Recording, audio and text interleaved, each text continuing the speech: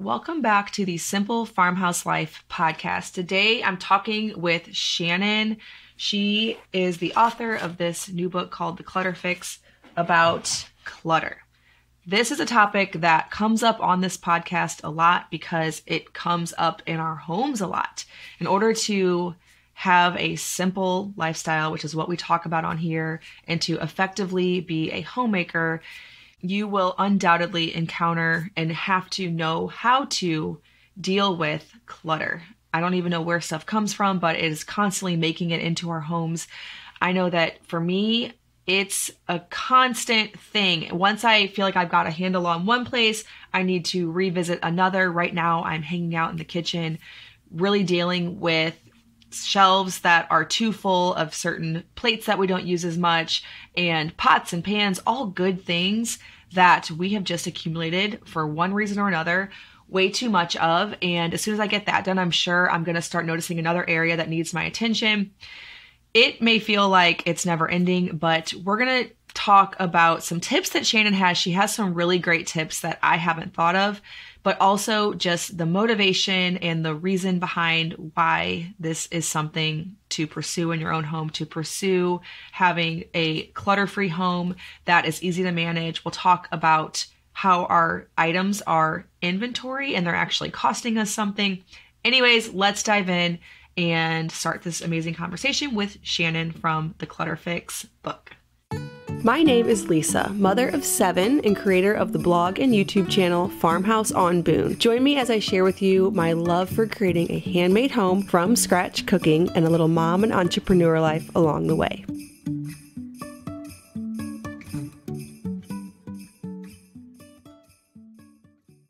Hey Shannon, hey. thank you so much for joining me. I really appreciate it. So I love your pretty wall behind you there. Thanks. I have your book. So we're going to be talking about the topic of this book, which is mm-hmm. clutter, mm-hmm. something that we talk about a lot on this show, but we need reminders because it's something that we have to constantly revisit. It's not a one and done thing, kind of like we all maybe thought a few years ago with the Marie Kondo thing. It was like, okay, this is an event, we're doing this.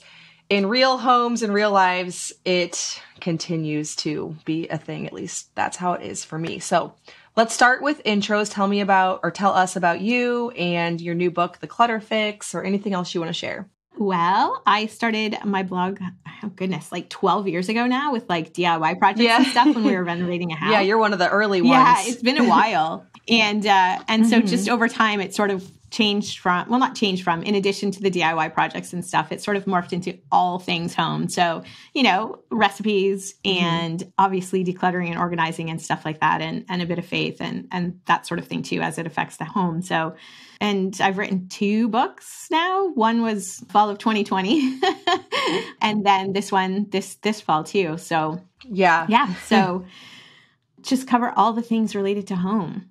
It's my heart to help everyone make their home the best place it can be. So that's good. Yeah. And that's so important. That's what this show is mostly about. We talk a lot about some some homestead and some food, which all has to do with home really. Yep. So all very centered on home and simple living.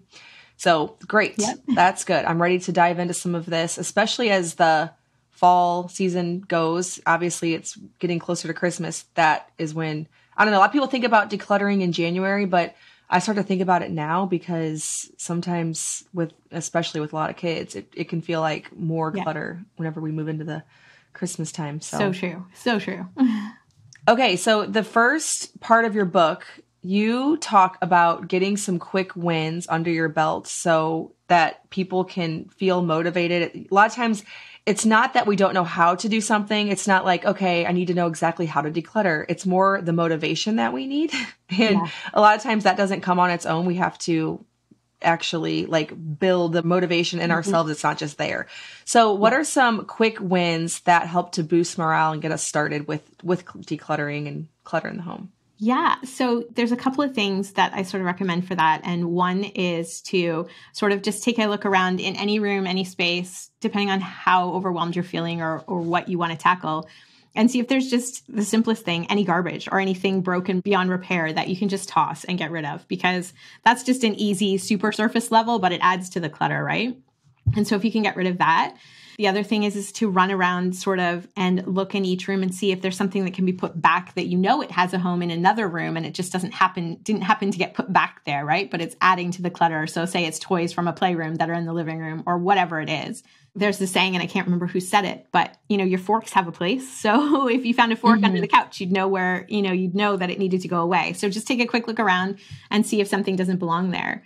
And yeah. then the other thing is in the book, there's a list of 120 things that you can throw away guilt free. So, broken things, expired things, things you haven't used for a really long time, but things that you can toss like without really even thinking about because they're kind of just no brainers and they're taking up space.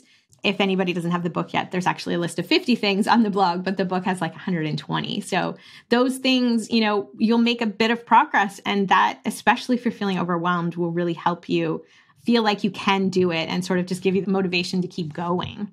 Mm-hmm. Yeah. I always tell my kids that if you don't put something back where it goes, you might as well not even own it. That's the constant issue in our house. We just, I was just before we got on, I was telling Shannon that my, I had to kick my daughter out because she was cleaning up in here because this is her little, she, it's her room that she doesn't sleep in. But other than that, she likes to keep all of her stuff in here. And I saw her carry in two hairbrushes. And the other day we couldn't find a single hairbrush when we were trying to get ready for church. And then today I was in the bottom drawer where I normally keep Tupperware and glass dishes and all of that. And oh, I know, there was a ramekin in there that I use for blog photography. And I got to thinking, if I hadn't seen this, next time I have photography to do, I will not be able to find this. It'll be frustration. And I know that somebody just thought when they were putting dishes away, this will be fast. It, you know, yep. this drawer is a lot easier to reach than mom's prop cabinet, which is like high up. But we might as well not even own it at all because next time I need it, it won't be there. Right. And you'll waste time looking for it. And if you really need it and you can't find it, you'll waste money buying another one. Like that's what so, I would have yeah. had to do because I right. wouldn't have found it. It's not in a place that I would have thought to look. I would have thought, okay, maybe they shoved it into the cabinet with the other bowls. Maybe it went, right. I could see a few places, but not the Tupperware drawer. And so I don't really know who I can blame, but somebody needs to hear this that if you don't put stuff back where it goes, you might as well just go ahead and get rid of it because it's, it's gone. It's gone. Yeah. It's not helpful to you, right? No, I feel like we think that as long as we have something, I know my husband, he's kind he's kind of guilty of this, especially like out in our barn, which that doesn't bother me as much because I'm not out there all the time and it's not a place that I'm worried about keeping decluttered. But he figures if he keeps it that way someday, if he's making something or building something, we need it, it'll be there. But the problem is, is that it might be there, but we're not going to find it. So it doesn't really right. matter that we own it at all. My husband's a bit like that with the garage too. Yeah, I think oh, most I guys. This. I'm like, but will you find it when you think you need it? Right. The big key is will it actually be there whenever? Right. Yeah, that's the kicker. Yeah. so, what are some of the things that you found through your experience of educating people on decluttering and inspiring them on that that you have found that people tend to want to hold on to like what are some common places that people constantly get backed up I think it depends on personality. That's, you know, if you are someone who worries, like you're a worrywart and you worry, well, maybe I'll need that later. So, you know, you hold on to three can openers, for example, even though you mm-hmm. only really need one, but you might, one might break. So you might need that mm-hmm. other one later if you buy things just because they're on sale. So like your favorite jeans are on sale, but you already have 10 pairs that fit great. Why like you don't need another pair. People collect clutter because, you know, they tried something or they wanted to be something or they aspired to do something like say do yoga or, you know, have a fondue party or something regularly and they have all this stuff now but they decided they really actually don't like yoga and, you know, they can't do fondue because they're allergic to dairy or something. Like they've just, but you still have the stuff from that. You know, there's all kinds of reasons, all kinds of, you know, some of it's sentimental, of course, some of it's, you know, people have given it to you. There's tons of reasons why people get bogged down in it. It just depends on what kind of clutter personality sort of that you have or the people in your family have. Yeah. As to why and what clutter that there is. Yeah. And even with the personalities, there is a way to shift and become better at something. For me, I used to be such a pack rat when I was a kid, and now I have no trouble getting rid of stuff because I've seen what it's done for us. Whenever something has lived out its purpose in our home and I can let it go, I find that I can actually manage our home and it's less inventory, less things to deal with. And so I totally feel like it can also change. And sometimes we just need reminders. Yeah. Like you have that list. Yeah. Sometimes, like when I was looking through that list, I was thinking of a few things like, oh, wait, why do I still own that? You just forget because stuff comes in so constantly. I don't even know how it happens, but it makes its way in all the time. So it's a constant thing that people have to continue to do. And that's something too is there's no magic bullet. And with everything homemaking, whether it's laundry routines or meal plans, we always want some kind of system or some kind of way to make it to where it's not that hard. But in reality, I think it, maybe it's Yeah. a good reminder just that, okay, it actually does have to be done all the time. It's great to have the motivation and the inspiration and some step by step type of instruction. But for the most part, it's just something that you just need to get up and start doing. Yeah, and I think people's expectations are that you know there's uh like my book is called The Clutter Fix, but in reality, it's it's work, it's stuff that you have to do. But I think people are looking for that sort of almost one and done. Like this is like you said, the Marie Kondo a few years ago. Like this is it. This will fix it, and that's it. Like I don't have to ever look at it again. Versus this is sort of a system, and then I have to get into habits and routines to help maintain this. Right Yeah. Yeah. like your house. People are like, oh, what's the quick fix? I don't want to be cleaning my house all the time. Well, if you live with people, somebody's going to be cleaning the house all the time. Right. That's just how it is. Yeah, yeah. There's really no way around it. There's some habits you can get into to make it easier. Like when you're in your bathroom, as far as cleaning goes, you know, maybe every like two or three times you go, just really quick, add a little toilet cleaner, clean it out, maybe like wipe down the vanity. There's habits that make it not seem as bad, but the same Yep. energy is always expended. And it's just a constant thing that you just have to be okay with. you just have to just accept Yeah. it, I guess. Change your expectations, right? Right. You were talking a bit about the clutter personalities. So I think it'd be fun to talk a bit about these and the unique challenges that each of these face. We don't necessarily have to hit them all, but I thought that was a really fun section that people can sort of self diagnose and maybe appreciate that somebody sees where they're coming from. So uh, you can just bring up a, a few if you want. Yeah. So I, I mentioned sort of um, the aspirational kind of clutter. So if you are sort of, you want to be something, there's the bargain hunters, there's the worry wart, like just, you know, you worry about things. There's also the delayer, you put it off because you're like, oh, I'll just do it tomorrow, right? Like I'm not, I'll just do it tomorrow, but tomorrow never comes. And then the idealist kind of thinks, oh, I can't do it perfectly right now. So I'll put it off until I can do it mm-hmm. perfectly. So the you know the delayer and Yeah. the idealist are sort of similar. I say I know somebody very well who is the idealist. Yeah. So, you know, there's a, a saying, I don't know, in sort of the business world is done is better than perfect sometimes, right? Like to get the clutter out, it doesn't have mm-hmm. to be perfect, but if you make progress, that's far better than leaving things as they are. Yeah, definitely. Yeah. Definitely. So, yeah. And then some people, you have too much going on. So they're hurrying all the time. And so they just don't have time to find things. This is kind of what we talked about before. They don't have time to find what they've not necessarily put away, but what they've got. So they go buy another one. And so you end up with a duplicate just because you're rushing all the mm-hmm. time, but you need that thing. And sometimes, you know, we get so worn out and overwhelmed that we just freeze and we don't know what to do with it. So it just keeps coming and it doesn't get looked after. And so, yeah, so there are a lot of, there's a lot, but once you know what your personality is, or even the ones, the personality of the people in your house, you can sort of head that off a little bit and say, okay, well, for example, with the bargain hunt, do I actually really need a, a pair of jeans? You know, I have 10 pairs just because it's on sale. Do I need it? Do I actually need three can openers? Or, you know, will I be okay if one breaks to grab another one or borrow a neighbor's or something? You know, uh, have a little faith that you will have what you need when you need it, kind of thing, you know. And yeah, so once you know what your personality is, you can sort of be a little more conscious and aware of it. Like you said, you used to sort of hold on to everything and you're, you're aware of it now. And so you don't. And it just takes a little bit of practice with that. Yeah. And we also have to recognize that we do live in a different day and age. There's a lot more availability of all the things that we would need. You could go over to the thrift shop and pick up probably like three can openers or get them for $5 on Instacart or whatever app pretty quickly. So even if you do not have a can opener, you probably can get one really fast. And so stocking up on them, unless you have infinite space, but even still, you have to manage everything that you own. You do.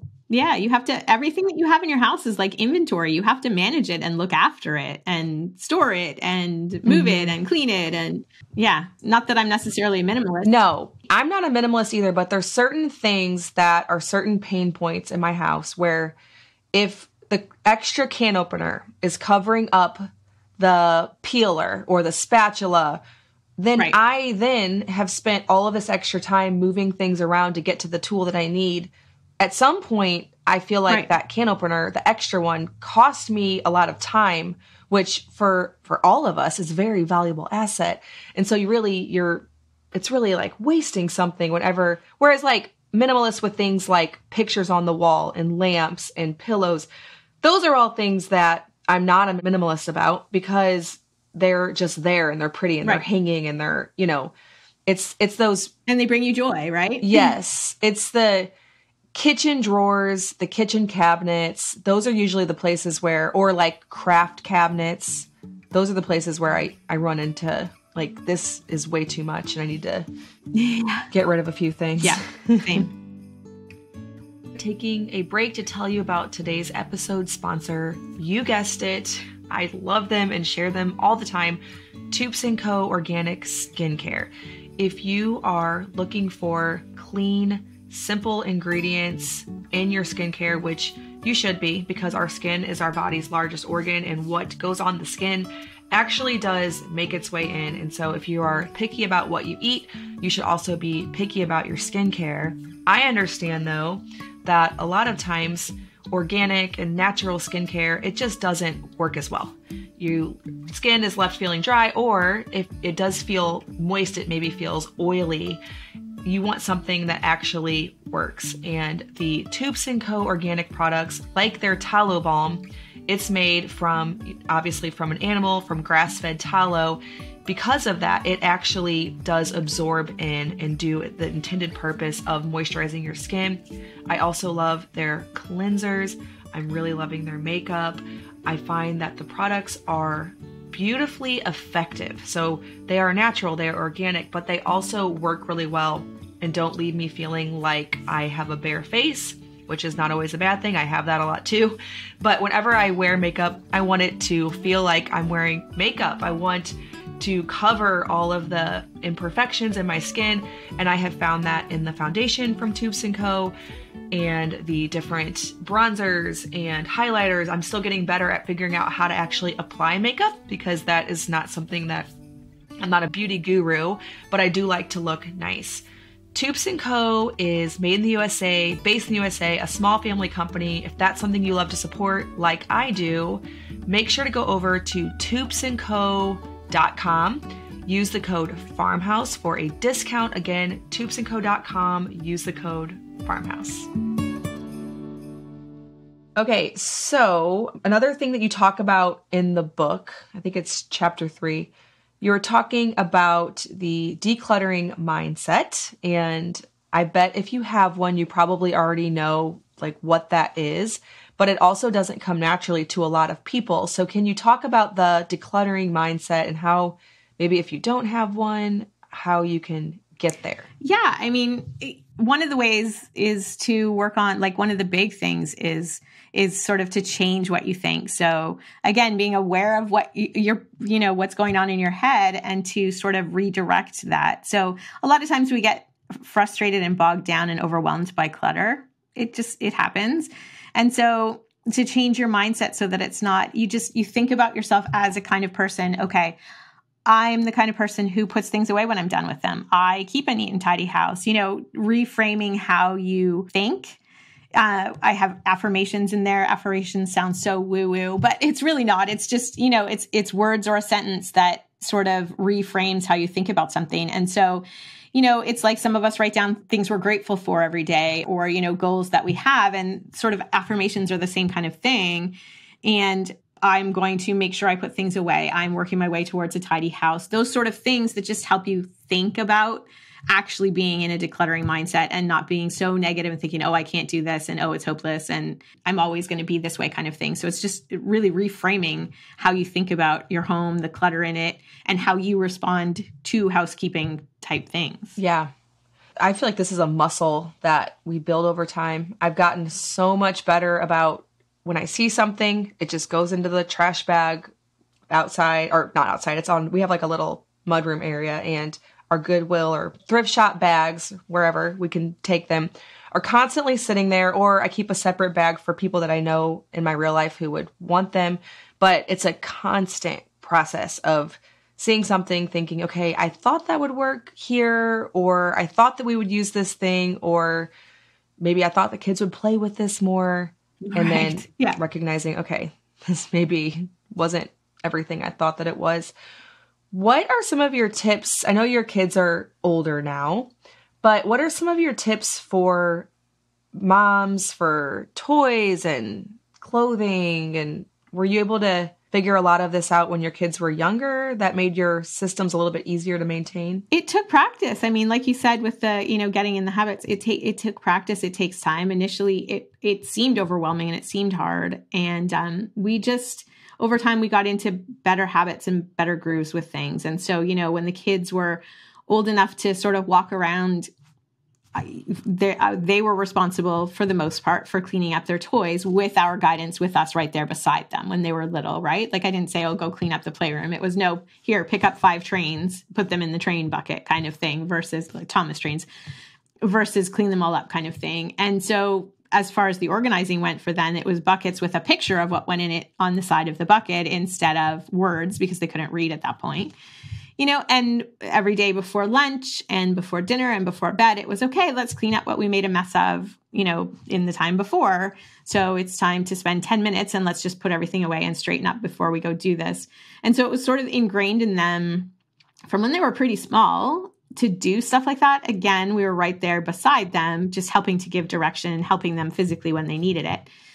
And as far as clothing went, that was sort of a seasonal once they grew out of it kind of thing. Now I've learned we actually have a basket in our upstairs hallway with a it's got a garbage bag in it. So I mean it looks kind of pretty sitting in the upstairs hallway, oh. but it's oh. for donations. So when they grow out of things, That's it goes idea. into that ba- that basket with the bag in it and then we just tie up the bag after, right? And and donate it. You just keep it up there all the time so that way do, like yeah. as you see something. That's a good idea because the upstairs level of the house, it is hard because you go up there, you don't have a bag in your hand. And so you think, okay, next time I see that thing or that, those jeans with the hole or whatever thing, like that didn't fit right or whatever situation it might be, or that toy never got played with. You don't, you think you'll just bring a bag up next time. And I try to be in the habit of always going upstairs with a bag. Yeah. But the idea of keeping it in a pretty basket all the time, maybe like two, like one for stuff that can't even go to the thrift shop because it's just too broken or lost or ripped or whatever. Yeah, we have, I mean, we have each of the kids has a garbage can in their room for regular uh, garbage and stuff like that. And if it's something small, they know to yeah. like, and it's got a ton of holes in it, like a sock or something, they just put it in there. Yeah. but otherwise, yeah. Yeah. It's, it's have, it's making it easy for everyone, right? Like mm-hmm. that's kind of our jobs is to make it easier because by making it easier for them, it makes it easier for us. Yeah yeah so they're older now. They they look after stuff but they need reminding still. Oh yeah. It just yeah. is.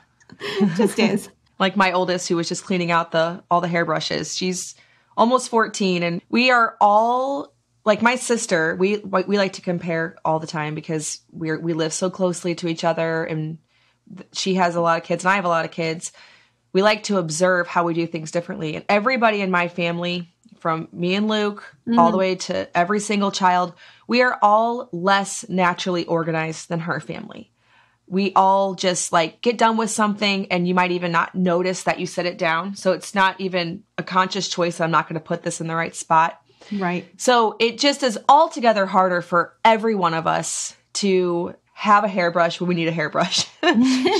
my sister doesn't have that problem. Like she doesn't have the problem of when she's going to write somebody a check, there's no pens, or when she's going to get ready for church, there's right. no hairbrushes or scissors. I mean, we have a lot of a lot of pain points like that, but it does just take constant reminding and I guess all that to say I'm just there with you if you feel like this is a struggle. Having less inventory though makes it easier on us. I always tell them that if we were a little bit better about our habits, we could have more toys, we could have more storage down in the basement, but we're not. And so we have to have less inventory for us to make that all okay. You have to make it work for your family. I'm taking one more break from this conversation with Shannon all about clutter to tell you about my blog success masterclass. I know I've been sharing a lot about that lately, but I've spent a lot of time this year revamping my whole program, coming up with a planner that will really serve you to reach your goals in 2023. Shannon and I both got our start in the online world with blogging. And for me, it remains my favorite way, my favorite aspect of my business. It's the least personal. I get the least personal feedback. I can share the least personal stuff, unlike Instagram, where I'm, you know, constantly having to share and be on that, that hamster wheel, if you will. Whereas blogging, you create something that's good, a recipe or something inspirational or a DIY project or sewing or gardening or whatever it is that your niche is, and that thing continues to stay on the internet and earn you revenue. As I've grown, I've learned so much, and I have a one hour masterclass where I share my four step framework for how to make an income blogging. I share all the mistakes that I made that I wish I hadn't. And ultimately, my passion for blogging is just getting stronger. I find that it is one of the best kept income generating internet secrets.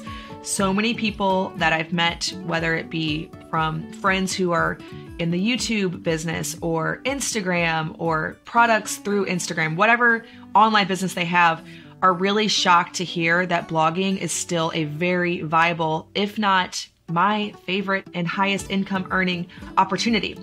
So, if starting a blog is one of your goals for the year 2023, make sure to check out my free one hour masterclass. You can get that at bit.ly forward slash farmhouse blogging school.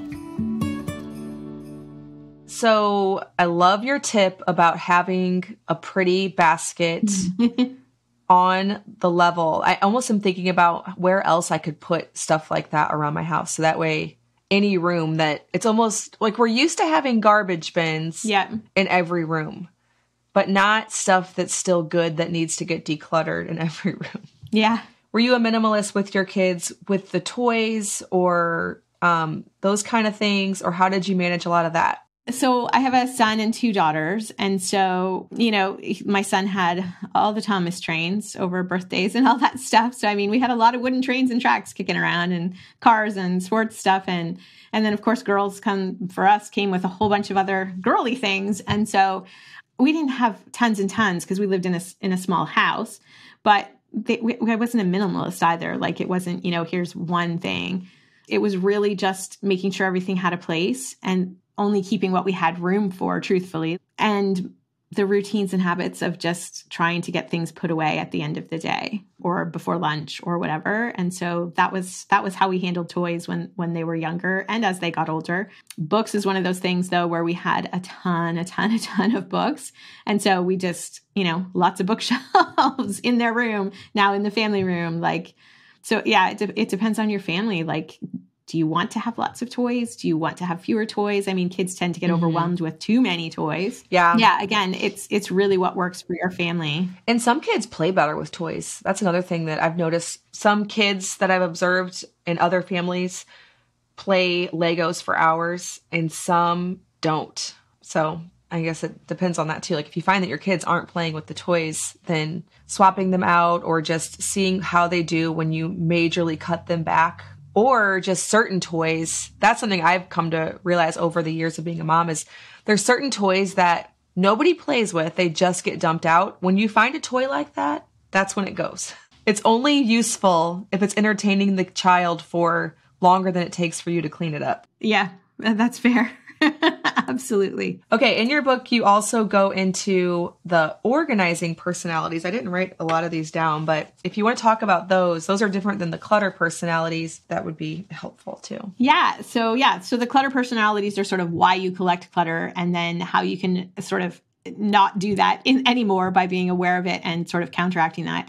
And then the organizing personalities are based on, you know, four things. Do you do you want to see everything out? Do you want it behind closed doors? Do you want to use big containers for storing things in because you or do you want to have small containers? Many different sort of subcategories of organization, I guess. And those four things make up the organizing personalities and that's how once you've sort of purged and then you do a seasonal purge or whatever it is that you need to do, how you organize things then. And it's different for everybody. You know, I have a very, very creative daughter who needs to see everything out in the open, and tiny little storage and hidden storage does not work well for her. Whereas, you know, I would rather have everything behind closed doors. and right. for some things, you know, and you, and it can vary in rooms too. Bathrooms and kitchens are a little bit you know, there's a lot of little things. So, you know, I have many drawer dividers, but they're all open in the drawer, like they're not closed and, you know, little boxes in the drawer. And you want to make sure that you organize the common spaces like the kitchen or the main bathroom for the simplest sort of organizer. So, as much as possible out in the open and, you know, big containers if that's possible. So, for example, our kitchen, we have open shelving for all the plates and bowls and stuff like that because that's just easy and everybody can see where everything goes. And, you know, that's easy for us for hosting too because everyone can just grab their own plate off the off the shelves, right? There's no opening all the cupboards mm-hmm. to try and find a glass or whatever. You can see them. The kids in their bathroom, for the most part, the girls share a bathroom and they have a tray on the counter with all their stuff. I have a tray on the counter in my bathroom with stuff, but also in the drawers, I have smaller little organization things in the drawers just because I like it that way. But, you know, the creative one would never be able to manage that, even though she shares the bathroom with her very, very, very organized sister. So, you know you have to make it work for whatever the space is in your you know in your own room you can have whatever kind of storage you like but in in the kids space it needs to work for the simplest form of organization for everybody. Yeah that makes sense that we would all do it a little bit differently. I'm like you if it's behind closed doors it almost doesn't matter as long as i can everything looks pretty good to a certain extent yeah, exactly. if I end up having to like rummage too much, that's where I start to think that it it needs to then be decluttered even behind the yeah. the doors too. Yeah. it saves me time. Okay, so if somebody is just starting on organizing their home, they feel like their home's really got away from them, or they just want a seasonal reorganizing, maybe. How would you recommend that they decide? I think you have a whole section in the book on how to decide what to get rid of. What are some practical tips for for figuring that out? Yeah, so what to get rid of? Really there's a few questions to ask yourself about that thing. One of them is is it is it useful? You know, is is it again the can openers obviously can openers useful so you know when you're trying to decide whether to get rid of something decide if it's useful and then the other question after that is is it the only thing that can be useful in that way you know, do you need a, a melon baller when you have a knife and a knife will work just fine? Or do you legitimately make balls from melons so often that you need a melon baller? Like those sort of so is it useful? Is it the only thing that's useful in that way? Or can you sort of streamline and use something else? And then is it beautiful? And is it beautiful is really that's subjective and only you can say whether something's beautiful to you or not everything that's useful doesn't have to be beautiful, but for some of us, that really, really helps. you know, if your knife set is pretty, if your measuring cups are pretty, but not all that doesn't necessarily matter to everyone. And some things can be kept just because they're beautiful. You know, a picture hanging on the wall isn't necessarily useful, but it sure is pretty to look at. And so those three things will really help you. Those three general questions, you know, when it comes to clothes, it's, you mm-hmm. know, have you worn it in the last year pregnancy and, and nursing aside because the, you know the, those things sometimes you'll rewear them again later if you're still having kids or whatever. But you know if you haven't worn it in a year or even six months depending on the weather where you live do you really need it still? You know do you have 15 pairs of jeans and you only need seven? You know those sort of things. So once you sort of logically think about it and ask yourself those questions, it helps a lot to sort of slim down and see, okay, well, no, actually, I don't really need this. Or, yeah, I really do need to keep this. Yeah. It's also important to remember. I know we already, we already talked about this, but it's just important reminder because it took me forever to figure this out for myself that having an extra of anything or even just having any item does cost you something. I think people think, okay, well, why not have the melon baller? in a yeah. little crock on, you know, why why not have it there? But remember that if you're not using it a lot, it does actually cost you something to keep it. And so if your if your issue is cost, whether that be monetary cost or time costs, because it does even cost you monetary cost in a way, because so many times the thing that you need is hiding behind another thing. And so it does actually cost you money because you have to go look for it. But then also the time cost is something that we're usually okay with just not worrying about when it comes to time costs. Like, well, that's not a big deal. we, we see the value of money because it's so tangible, but time, a lot of times we have a hard time placing value on that. And it's true. Extra stuff does cost that. It does. You have to move it around to get to what you need, or you have to clean it, or, you know, yeah. Yeah. It does. Okay, so what are some final organizing tips that you have for us? Um, you can talk about any of the checklists, quizzes, planners that are offered in the book, anything that you find helpful. Yeah, so there's checklists in there for everything. So specifics, you know, it's the same general steps to clean any space, but I find a lot of times people really wanted they were asking me for specifics like how do i clean out the drawer the junk drawer? How do i clean out my entry closet? And so there are very very specific step by step checklists in there. You can write in the book as checklists or if you grab yourself a copy of book there's a link in the book that you can follow to download extra checklists. There are planners for you know how to get your habits and routines in place so that you know you can get up in the morning and things aren't quite so overwhelming because you've put everything away the day before. And so those habits and routines, there's checklists and planners for those.